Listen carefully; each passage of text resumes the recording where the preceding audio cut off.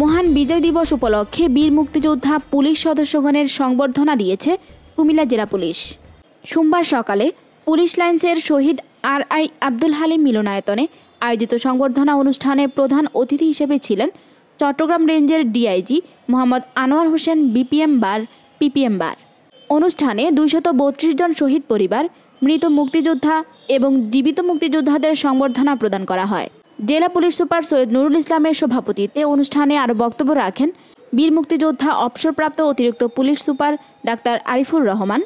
এ সময় police super Naresh Chakma, অতিরিক্ত police super Azimul Ahsan, অতিরিক্ত পুলিশ সুপার তানভীর সালেহিন ইমন উপস্থিত ছিলেন। অনুষ্ঠানের প্রধান অতিথি ডিআইজি মোহাম্মদ আনোয়ার হোসেন বলেন, মহান মুক্তিযুদ্ধে বাংলাদেশ পুলিশ সদস্যদের ভূমিকা ছিল অত্যন্ত গৌরবের। এ প্রজন্মের পুলিশ সদস্যদেরকে মুক্তিযুদ্ধের সত্যিকার ইতিহাস জানতে হবে। তা না হলে তারা বিভ্রান্তিতে পড়তে পারে। তাদেরকে মুক্তিযুদ্ধের চেতনাকে ধারণ করতে আহ্বান করেন রেঞ্জ ডিআইজি। কুমিল্লার কাগজ, নিউজ ডেস্ক।